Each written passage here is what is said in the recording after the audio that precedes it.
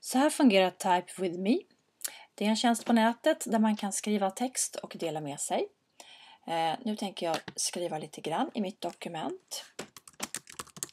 Här skriver jag text. Och just nu så är jag inloggad och skriver som Lisa.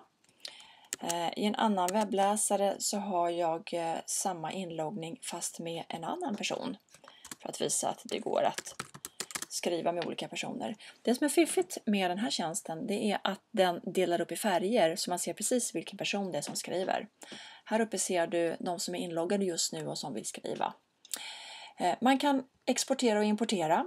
Du kan till exempel börja med en befintlig fil som du har som du skickar in i den här som du vill fortsätta skriva på. När man till exempel sitter på olika platser och vill dela med sig av eh, text och samarbeta. Eh, spara till pdf, spara till word, eller som vanlig textfil. Men något som är framförallt fiffigt så är det som heter Timeslider och den funkar så här. Då kan man se över tid hur den här filmen eller hur den här texten har växt fram. Vem som började skriva och hur man rättade stavfel och så vidare.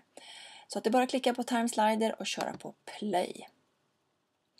Nu ser man den första texten som kom fram och sen kommer den gula texten och du ser också här nere i fältet samtidigt vilka skribenter är det som skriver de här olika textstyckena. Vem som ändrar vad och så vidare.